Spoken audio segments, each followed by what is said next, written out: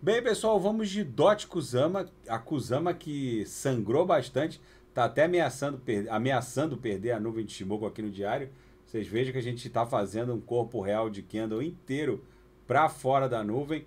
Na, na nossa banda de VWAP mensal, é, a gente está desenhando ainda, tá? Segue vigente o desenho de uma, uma bandeira de alta. O mastro poderia ser um pouco mais extenso, né?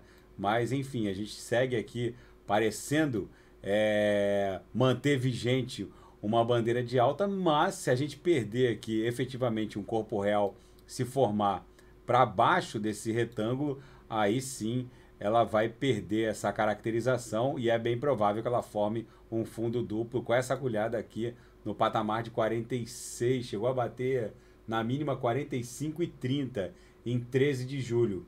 Então ela segue muito pesada, de repente essa canaleta virtual de alta é, pode até ficar descaracterizada se ela formar um corpo real inteiro de Kendo aqui a partir de amanhã para fora, para baixo da nuvem. Vamos acompanhar a Kusama. A DOT está mais bonita.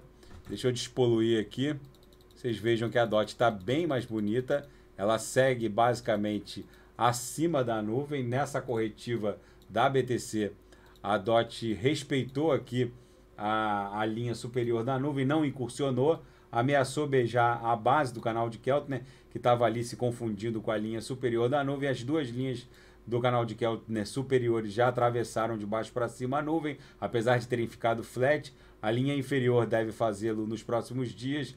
Na projeção, a nebulosidade acabou perdendo um pouco de espessura, mas é em razão dessa desse pullbackzinho aqui, a gente segue com uma canaleta virtual de alta totalmente vigente. Ou seja, a DOT está mais bonita que a Kusama. A Kusama efetivamente ficou muito pesada. Eu vou ficar atento. Qualquer movimentação mais brusca da Kusama, no sentido de perder a nuvem, eu volto a reportar. A DOT basicamente superou a nuvem e agora deve se desdobrar aqui, seguir desenhando essa canaleta virtual de alta. Tá bom, pessoal? Daqui a pouco eu volto com Atom, Ent. Vou ver se dá tempo para fazer a Matic. A Matic deu uma corrigida boa, daqui a pouco ela deve voltar para ver o app. E quem quiser sugerir alguma análise é só colocar nas mensagens abaixo. Grande abraço, até daqui a pouco.